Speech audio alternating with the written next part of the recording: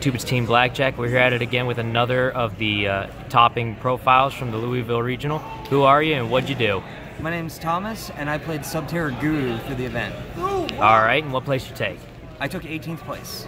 All right, let's see this list. All right, so start off, we have our three Fiendess. Very Uh, nice. Pretty standard. Are those first heads? Yep. Okay. I was about to judge you. Yep. Uh, we have three Subterror Gurus. Of course. Pretty standard. The one Nemesis Archer. Mm-hmm. Uh, going into the weekend, I was going to play two, but I ended up cutting it to bring me down to 40. So I haven't seen her very often in a lot of decks. Why do you play her still? So the nice thing with her, when it comes up, is she's a cheeky way to get into your Stimistrix. She's Uh-huh. also copy number four of Guru. Okay. So whenever you need it, you have it. And it's another beat stick. So we have our one Uma, Uh huh. and that's it for the uh, actual Subterror monsters. Okay. And then going to the hand trap lineup, I played two Ash this weekend. Uh huh. Triple Phantasme, Yep. triple Effect Veiler, The flex. uh, triple Ghost Ogre. How many Electrumites did you hit with that? One. I played one Pendulum player all weekend. Uh, I hit him game one with it, and he passed his turn. I mean, that's Yep. as a self-proclaimed pendulum player, it that that's how it is. You, you go, mm, oh, all right, cool. And so that's all the uh, hand traps on the All right. board. So it's 1, 2, 3, 4, 5, 6, 7, 9, 10, 11, 14 hand traps in the entire deck, Counting the Fiendess, yeah. counting the Phoenix. So into the spells, we have our triple Hidden City. Yep. Gotta play it. The one Terraforming. Fifth hidden city or fourth hidden city. Fourth Hidden City. This card going to two is a shame, but whatever. Yeah, I know. I everybody saw it coming, but I wanted to just I wanted to live in the land of two as long as possible. It saved me 50 bucks. Th- that's fair. uh, then we play Triple Extravagance. I was at one point tinkering with two, but there's no reason. Did you ever summon from your extra deck? Uh, yes. Actually, right. a couple times a day. We'll get into that Yep. then. Uh, we played Triple Pot of Duality. And whose are those signed by? Joey Wheeler. Nice. So we have Pegasus and Joey. Okay. Then we only made uh, two super polys. Okay. Uh, Is the third in the side, or do you only the play third is in the side. But Okay. Against Striker, this is a completely dead cards, so there's like no reason to even keep Go it in. whole hog on it. All right. Yeah. Uh, another strange change is two call by. So why only two? It's a brick at three. I kept bricking on call buys and super polys. In That's matches they don't matter in. Very fair. So I went down to a minimalistic. It's the same uh, into the traps here. I played only two final battle. Uh huh.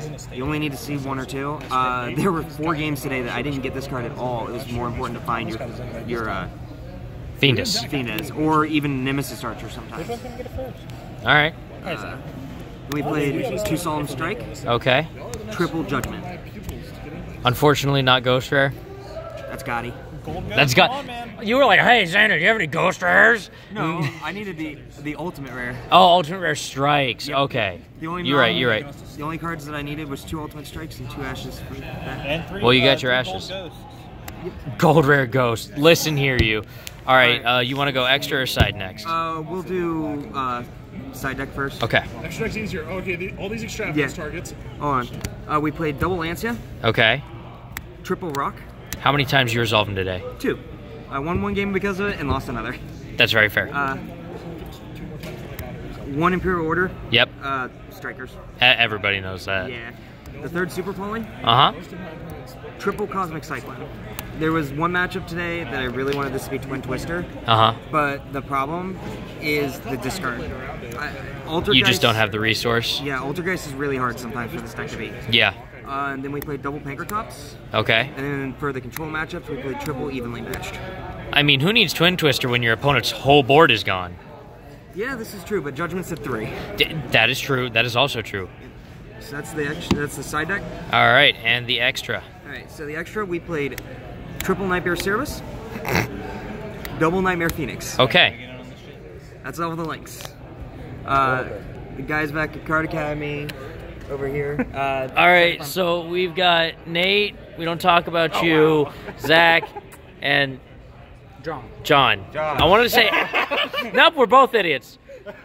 And then we have this guy. I knew his name was Josh. I just knew that would trigger him. uh, Okay. So this is just generically good. This is another way to get rid of the Nibiru token What? Yep. because you can just link Nibiru and whatever you play off and get rid of the token. Ah. So that's why you play three, huh? Yep. Okay. Uh, we're an extravagance deck. Yeah. Uh, triple Dragon Dust Dragostapelia. I can't say it. Uh, I was afraid of Thunder Dragon. This is the best. He takes three X deck monsters, right? Uh, one fusion and one uh, dark monster. Oh, okay. So I can take both their Colossus and their Titan. Okay. Uh, double Muddy Mud Dragon. Uh huh. Two monsters with different attributes. Mud Dragon of the of the swamp. Uh, Oh, yeah. Same this, attribute, different type. Yeah, same Right. attribute, different type. Uh, this card came up in my last match when I was able to super poly my Guru with the Pankratops. Okay. That's definitely energy. Yeah. You're guru with their pank. Yep. Nice. Uh, double uh, Starving Venom. These uh, just two darks, good. yeah? Yep. Okay. Uh, double Violet Chimera. This won me every game against Salad today because I turn one this. Okay. And then the last one is the Borreload uh, Furious Dragon. Because he just two. Two Two dark dragons. Um, he's Hot red and. Hot red and any other dark dragon. Or you can just hit the uh, guard dragon. And doesn't he? He revives links out of the grave. Yeah. Uh, yeah, but you never used he's it. just a disruption. He's I mean- another disruption on our turn. Seals is a light. Uh, but with this deck, I didn't play any any uh, any floodgates at all. I found through testing they they brick. They're only good if you're going first, and it's super easy to play through floodgates now. Compulse sucks. Uh, That is how the guru player against me died. He hit me with a Nibiru, couldn't clear it. I red rebooted his compulse and punched him with a 10k token. It's it's yeah. Yep. So, I basically turned it to be uh, less hellbent on going first and able to play through board states. So, what would you can? How would you classify this deck? Is it stun? Is it control? Is it is it mid Uh, range? this falls under hard control. Hard control, but without your floodgates. Yes. Uh, instead of floodgating them out of the game, you're just denying them everything they can. The whole, the whole point is deny resource. Most times, my opponents had one card in their hand, and I had five. So you're trading cards Yep, rather than leaving them in their hand. and I just beat you down with a 1600 Subterror Guru, and that's how the games are won. Guru beatdown. All right.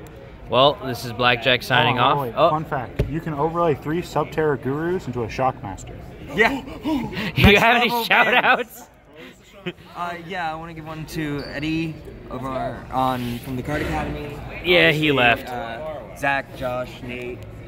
Shout out or shout out to the other Zach and all the Blackjack members. That Oh, there's Eddie. What's up? And Alex Monlack for all the playtesting against Cyber Dragons that came up in the last game, in the last uh, All right. last round. Unlock the shot.